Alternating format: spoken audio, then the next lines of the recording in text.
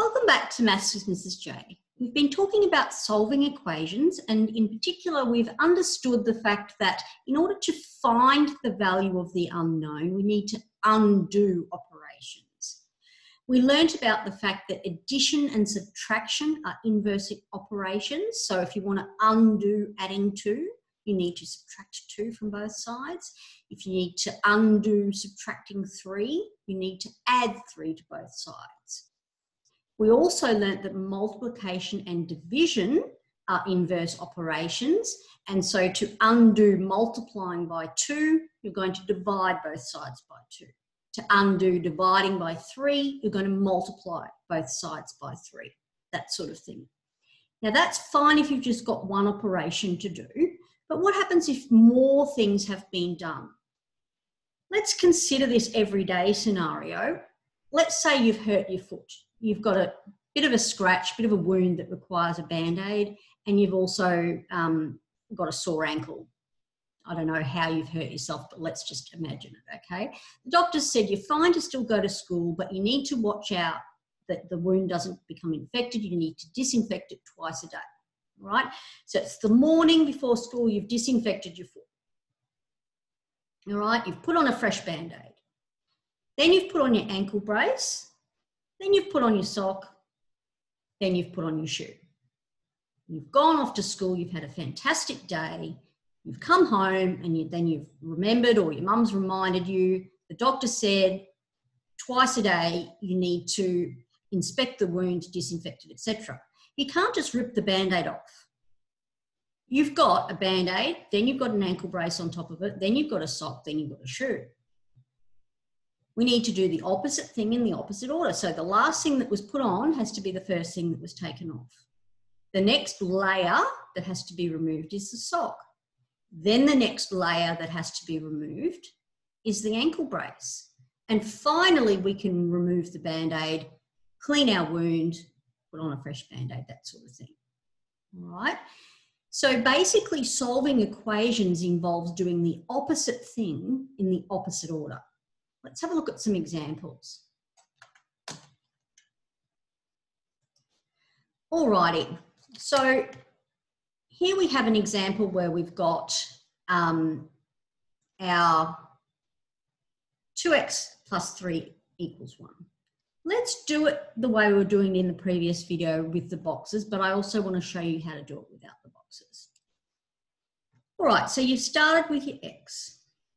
What's happened to it first? Well, it's been multiplied by 2 to give us 2x. Then what's happened? We've added 3 and we've ended up with 2x plus 3. We have information about what that equals. That equals 1.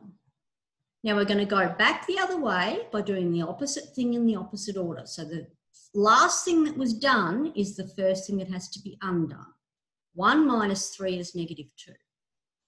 Then we're going to undo this multiplication by 2 by dividing by 2. Negative 2 divided by 2 is negative 1.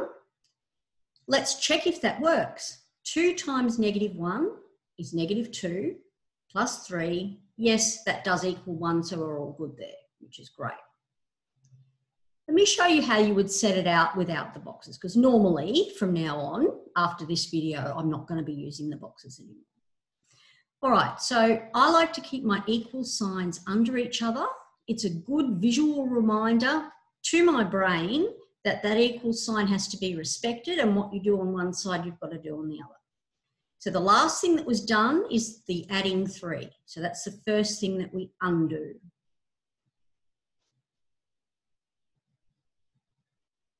All right, then we've only got one more layer to remove.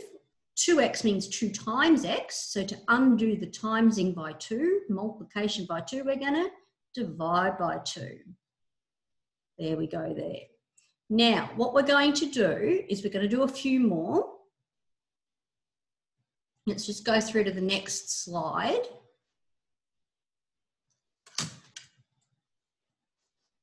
Okay, now these ones are even more complicated, but it's okay. It wouldn't matter if 10 things had been done to the X, as long as you follow the order that it's happened and then you go back in the opposite order, you'll be right. let's do it with the boxes as well as um, setting it out without the boxes. Okay, so we've started with our x. What's the first thing that's been done to it? Three has been added. How do I know that three's been added and two hasn't been divided first? Well, because this vinculum is divided by line kind of means that there are brackets there. It means that the whole thing is divided by two. So three is added and then it's divided by two to give us our x plus three on two. Okay. If you divided by two first and then added three, it would be x over two plus three, which is different. Um, okay, so going back in the other direction, we need to undo this divided by 2. How do we undo divided by 2? We multiply by 2. 7 times 2 is 14. Now we're going to undo this addition of 3 by subtracting 3. 14 minus 3 is 11. Let's check if we're right. We've found that x is 11. 11 plus 3 is 14 divided by 2. Yep, that is 7. It does work, thank goodness. All right. Let's do it showing the normal way of showing the working. All right, so my first step is undoing the divided division by 2 by multiplying by 2. So x plus 3 is 14. Then my next step is to get rid of this adding 3 by subtracting 3. And of course, we get the same answer that we got doing it this way. All right. One more.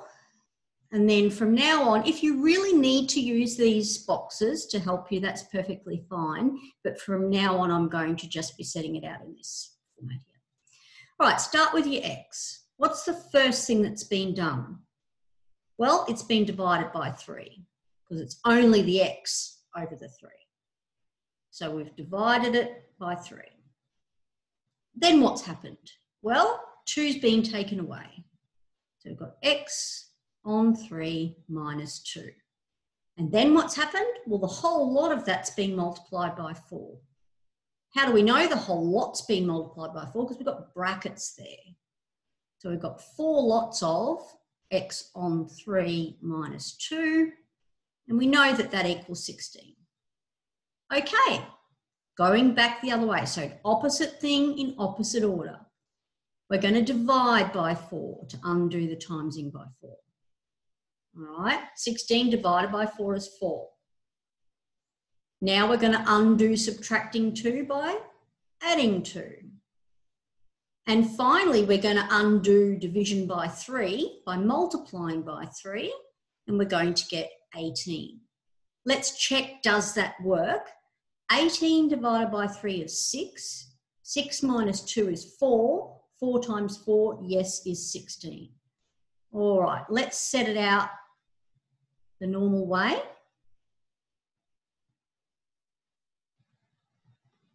So the last thing that was done is the first thing that's got to be undone. So we're going to divide both sides by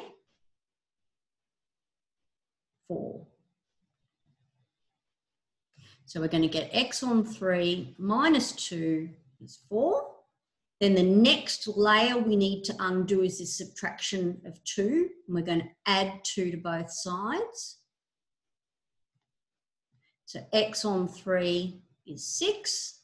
And then we're just going to get rid of this division of 3 by multiplying by 3. And we're going to get x is 18. And there you have it.